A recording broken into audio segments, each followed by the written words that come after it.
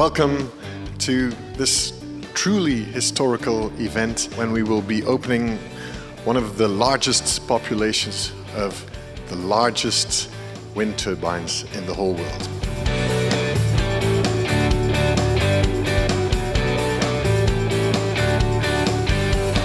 C-Power has set the scene in the development of the Belgian and European offshore wind industry and achieved an important milestone with the finalization of its 325 megawatt wind farm.